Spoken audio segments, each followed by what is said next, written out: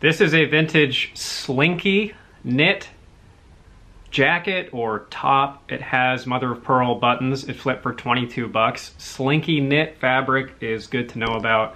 Mostly women's clothing and it's mostly vintage. Chico's Travelers is a great example. Chico's not that great of a brand, but Chico's Travelers has demand for it because a lot of people like this kind of fabric. It's the heavier duty knit, as I said, fabric that does not wrinkle and I think people like it because, as the name Travelers would suggest, you can throw it in a bag and pull it out without having to bring an iron or a steamer to make it look okay, and it has kind of a formal look. So, vintage slinky fabric pieces, I tend to just pick up when I find them at the bins now. This is a pair of cinched jeans that had some whiskering on them. That's what this is called.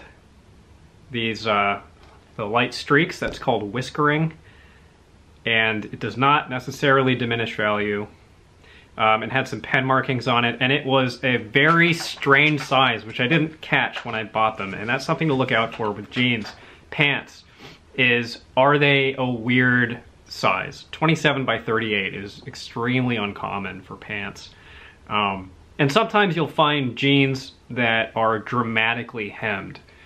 You'll find um, pairs of jeans, I think it's for for guys who like shorter guys, like you'll find jeans that are size 38 waist and the inseam will only be 27 inches and it's aftermarket, it's hemmed by a tailor. And for some reason, I just, it never occurs to me in the moment to screen for that and it always catches me. And a lot of the time it's the really valuable jeans, like the Versace's and so on. And they end up sitting in those thrift stores because people try them on and they fit like shorts. That was not the case here, but I didn't catch that it was 27 by 38. So anyway, the nutshell there is it did eventually sell, uh, but it sold for 21 bucks. It sold in a bundle with something else that I'm about to show you. And it took uh, an unusually long amount of time for cinch jeans to sell. Usually these just fly right off the uh, proverbial shelf. It sold in a bundle with this hoodie. That is FaZe Clan, which is a social media phenomenon. They are a group of video game streamers who have their own merch. It's had a hole in the sleeve, a lot of pilling on the fabric here. Still flipped for 25 bucks in that bundle.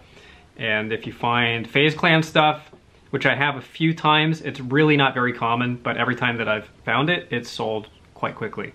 This is a pair of Hylete shorts that was a very quick flip. I think in two days or less, this sold.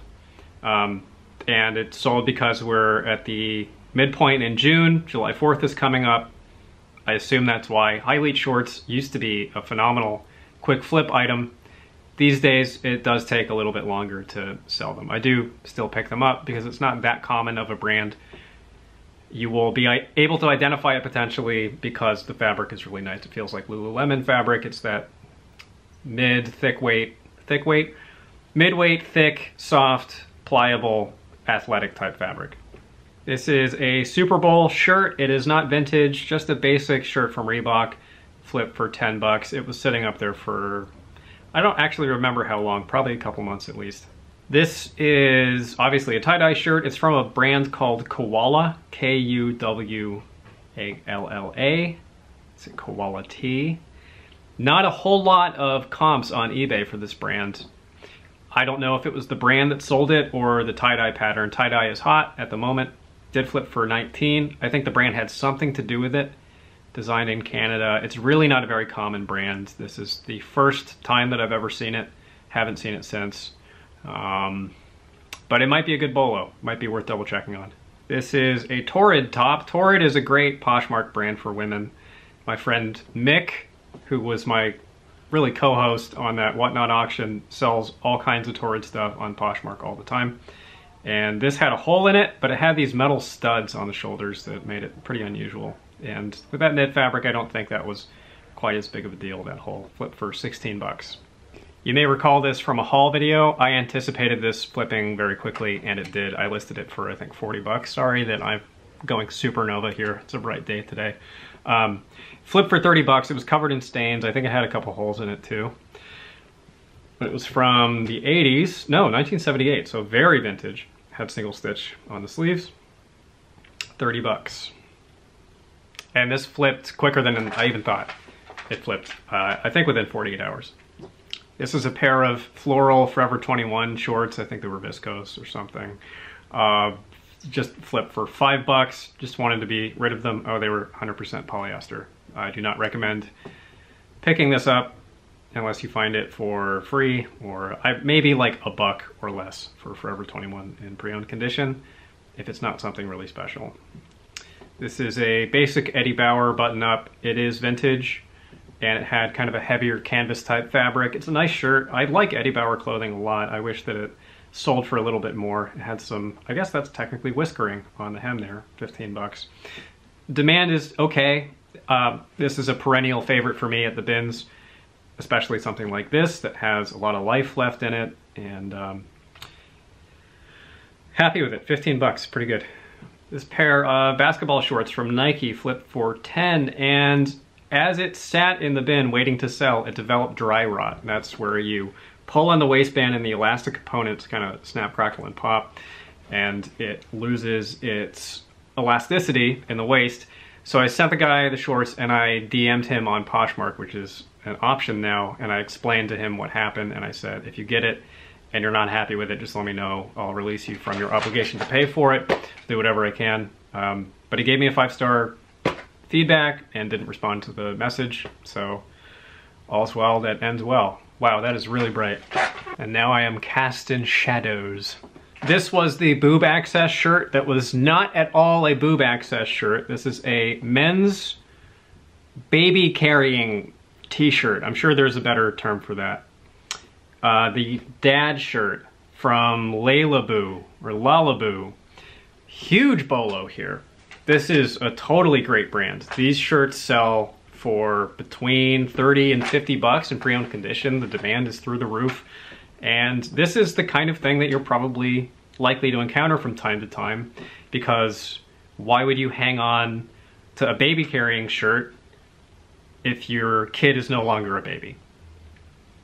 And this was in fact so popular that I sold it here and then somehow neglected to take it down off of my eBay page and it sold there subsequently and I had to cancel the order, which usually doesn't happen anymore for me. It happened a lot when I first started cross-listing to Poshmark. Um, and I cross-list by hand. I don't have inventory management or cross-listing software that I use. So every once in a while something will slip through the crack, but wasn't catastrophic. This is a really good Bolo brand, Kathmandu. I don't know if this is redundant with my last What Sold video, so this will be the last one from Poshmark. Uh, 31 bucks. It's a performance merino wool top or base layer, long sleeve shirt. I love, love, love finding brands like this and finding especially performance merino pieces from brands like this to sell because it's just bowling with the bumpers on. You can basically do no wrong. If you're willing to price it down, you can still flip it even if it has holes in it, multiple holes. If it has small stains, it will still sell. And this was in pretty good shape. Poshmark sales have been deadly slow for me um, to the point where I'm contemplating putting the cross listing on ice for a bit to see if something changes up with the algorithm or if sales bounce back because sales have been depressed pretty dramatically on Poshmark for I think most Poshmark sellers. And there's ways to game the system. There's people that are still having good success with it. And you know, this is nothing to sniff at. Still had some good sales, but um, I'm just I'm I'm on the fence about Poshmark at this point. Um, when I make a decision, I'll, I'll let you know about it. Definitely not giving up on eBay. Still having some pretty good success. I had a, a few great sales days. It's like this. Um, my attention on eBay has been divided. I haven't been hitting it as hard or as consistently as in the past, but have had some good sales. This is a pair of Nautica swim shorts and look at the wood background. This is one of the reasons why I almost never touch Nautica anymore unless it's something vintage. Um, especially color blocked button up shirts. I, I have done great with those, although I haven't found one in forever. Um, but contemporary Nautica, even 2XL, even with garish print like this, and it's in season, this took over two years to sell. Um, so I don't advocate picking up Nautica, contemporary, maybe new with tags, maybe huge sizes, and like I said, vintage. Otherwise, don't expect to flip it quickly at least. This did flip for 16 bucks. Great little quick flip brand Denim and Supply from Ralph Lauren is a discontinued line. It's in pretty high demand for that reason. It kind of typically looks like J. Crew type aesthetic stuff. Um, and very, very healthy market for it. This flip for 27, could have maybe juiced 30 out of it, but I just wanted a quick flip on it. Love selling these novels that are tie-ins to popular franchises. This is a video game book, video game novel, quite rare. These like Quake, Doom, Unreal type games have novels attached to them. I know Doom does. I don't know if, I think Quake does too. Anyway, this flip for 38, had it listed for 50, would have had less than a buck into this. Nice little bread and butter flip, a Patagonia basic t-shirt. It is made with capilene fabric, which is uh, like an insulating fabric and is in a little bit more demand. 28 bucks from a shirt that I would have spent two or three bucks on. Patagonia is not necessarily always a quick flipper, but it is a pretty safe investment as long as you don't grotesquely overprice it. Free People is a women's brand that I will pick up basically 100% of the time if I find it for less than a couple bucks. I think I got this at the bins. 20 bucks, quick flipper, and it was new without tags. That's how I typically list those pieces that just have the loop there, but not the actual tags. And happy with that. Maybe could have gotten more out of it, but I do not care. Turnbull and Asser is a really high-end brand. You find a lot of vintage in Turnbull and Asser, and it's one of the only dress shirt brands that I will spend full retail thrift prices on. I think I had this listed again for 50, took an offer for 36. It did take a minute to sell. Dress shirts, other than UNTUCKit, in my experience, are all longer tail. But I am happy with it, and it had flaws, still sold. Sold this Transformers book for 17 bucks 25 cents. Not as dramatic uh, margin as the other book, but another example of a tie-in novel that is in pretty good demand, fetches a nice price, 17.25. I would have, again, spent a dollar or less on this. Surprised this didn't flip more quickly. It's a hemp blend Orvis shirt Notice it flipped for 22. Um, Orvis contemporary clothing is is a little touch and go. Vintage Orvis, especially vintage leather Orvis or plaid flannels or vintage Orvis fishing vests are great. Contemporary, it is a little bloated. I don't remember where I sourced this. I don't think that I would spend seven, eight bucks at a retail Goodwill for this piece. I sourced this pair of Spanx new with tags from the La Jolla Goodwill, which is one of the most expensive thrift stores I've ever been to, and for some reason they had this priced at $6. I had it listed for 80 or something. Spanx is a great brand. I did check the sell-through and it's not as strong as I remember it being, but it's still a really, really good brand, especially if you can find it new with tags. Columbia PFG, love to do quick flips on Columbia PFG. We're getting into PFG season, which is fishing season. Well, we're really in it, spring and summer. Um, it's gonna be the, the best demand for fishing clothing. 25 bucks. A lot of people price this stuff up higher. I tend not to because that's my temperament anyway, but PFG is kind of like Patagonia in that most resellers are aware that it is supposed to be worth money. So uh, a lot of supply. There is a lot of demand, but definitely more supply than demand typically. So careful with your pricing. This one was a shocker to me that it took this long to sell. It's a button-up shirt from Salt Valley. Salt Valley, I again haven't found in forever, which is strange because I used to find it all the time. This was in my top 10 bread and butter brands. Um, you mostly find pearl snap buttons. This is just a standard button-up shirt, and it's in a weird pattern. I don't know exactly why it took so long to sell, but it did, 25 bucks. Still endorse it. I still think if you can find it and uh, it's reasonably priced and in reasonably good condition, you probably more or less can't go wrong with it. A pair of ExOfficio pants. ExOfficio I have designated as not that great of a brand, and so it is not, but these long pants, especially when marketed to well, I guess hikers. I was about to say fishermen, anglers, but I didn't use those keywords. I should have.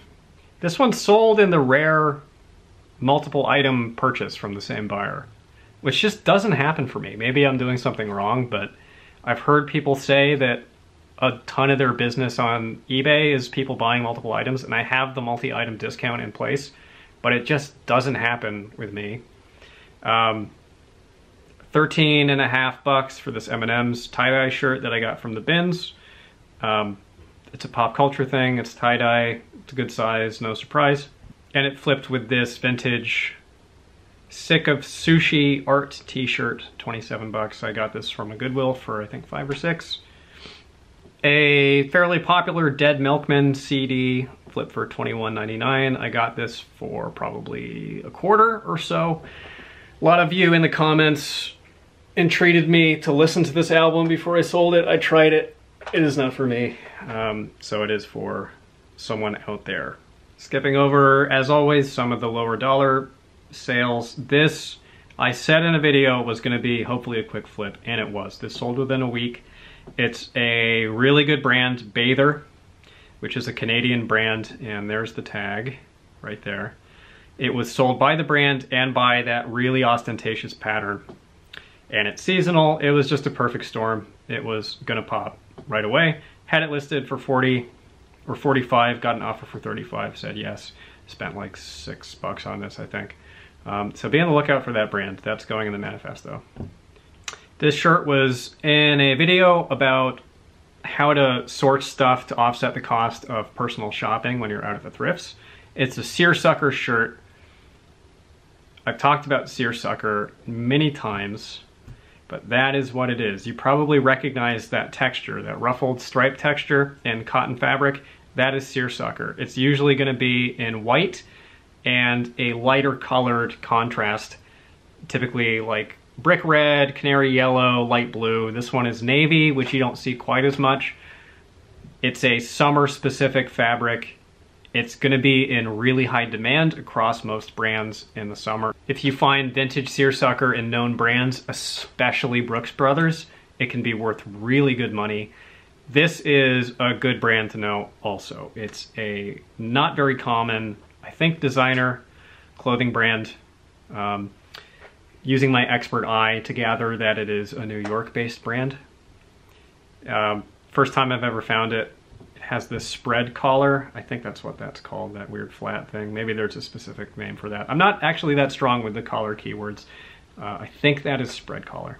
This sold right away. This sold overnight after listing it, which was a surprise to me. Oxxford clothes can be worth some really good money, but typically it's long tail.